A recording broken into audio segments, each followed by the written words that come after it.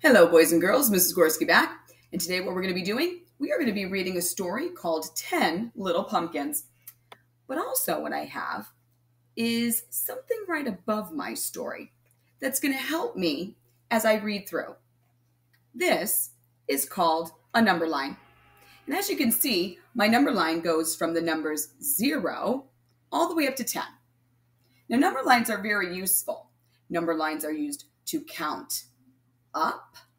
They are used to count back. They are used to add and subtract with some of our early learners. But today, with our 10 Little Pumpkin story, we are going to be counting back as a strategy today from the numbers 10 to 0. But before we start, why don't we take some time and practice counting forward and counting backwards? ready? Here we go. Let's start forward. Let's start at zero and we're going to go to 10. Ready? Let's do it. Zero, one, two, three, four, five, six, seven, eight, nine, ten. Great job. Now let's count from 10 back down to zero. Ready? Here we go 10, 9, 8, 7, 6, 5, 4, 3, 2, 1, 0. All right, boys and girls, great practice. Let's go ahead and get started with our story. Okay, boys and girls, notice how I changed up my number line a little bit. It's going to help us with our practicing when we are counting back from 10 all the way back to zero. So, you ready? Let's start our story 10 Little Pumpkins.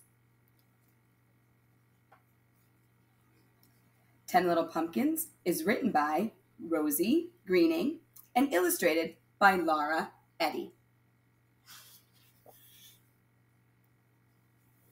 Ten little pumpkins are growing in a line. Then a farmer picks one up, and that leaves. Hmm. Now we're starting here at 10, but the farmer is picking one. So let's see. What will we be left with then? 10. I wonder if you know already. 9. So we have 10, 9. Nine little pumpkins bouncing in a crate. One decides to bounce away, and that leaves, hmm, let's see, 10, 9. What do you think? 8.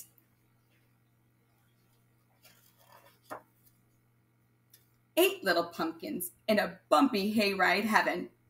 A pony carries one away, and that leaves, I wonder if you know it already 10, 9, 8,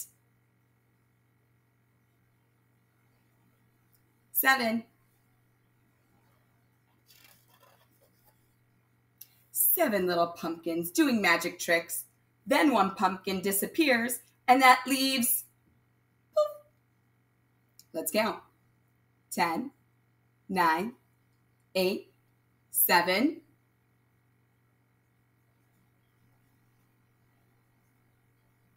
six,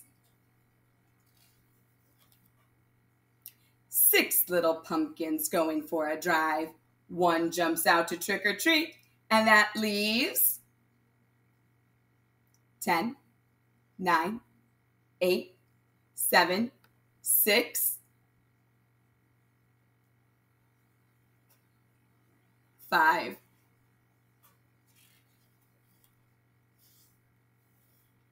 Five little pumpkins grinning in the store. Then a big black cat buys one, and that leaves. Let's go to our number line 10, 9, 8, 7, 6, 5, 4,